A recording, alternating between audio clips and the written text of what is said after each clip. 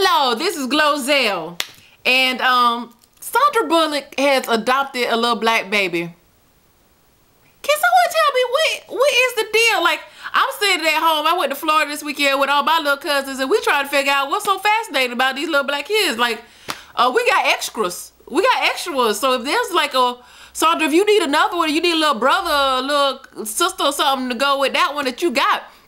Um, we got a two for one going for for a low price. For a low price for reals. Like um, we're willing to work with you like a layaway program or something, cause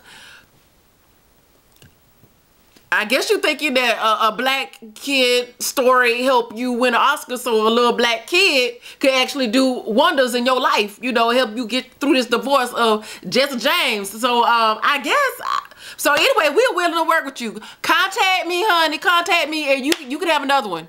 You have two, three kids, uh, as many as you want. You want some black babies, we got some for you. So go ahead and I can just hook that up for you, all right? Over and out. I don't know what. I mean, Madonna did the same thing. Mm, mm, mm. White people get a divorce and they get a black baby. Okay, bye.